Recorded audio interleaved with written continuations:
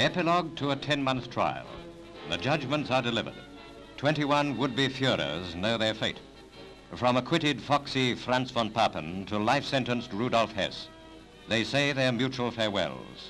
For the rest, the rope. Outside in the streets of Nuremberg, the one-time capital city of Nazism hears and reads a new message. Tyranny is gone, and fear, and war. They read, but do they learn? Until the sentences are carried out, guards patrol the town.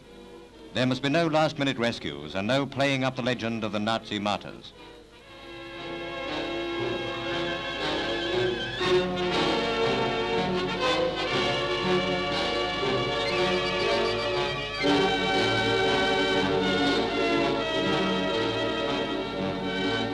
In this triumph of justice, a word of public thanks to the British team of prosecutors among them Attorney General Sir Hartley Shawcross and Sir David Maxwell Fyfe.